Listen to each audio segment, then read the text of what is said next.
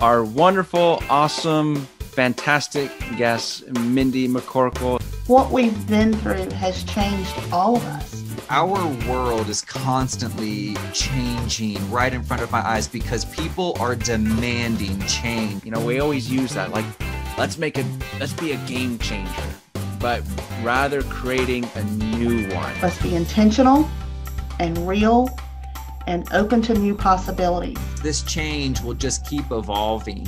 Um, so we either get on board or boy, it'll just run right over us. Our customers are not the same. Our associates are not the same. Mentioned earlier, boy, I can't wait to go back to the way things are. And that's just not, it's not going to work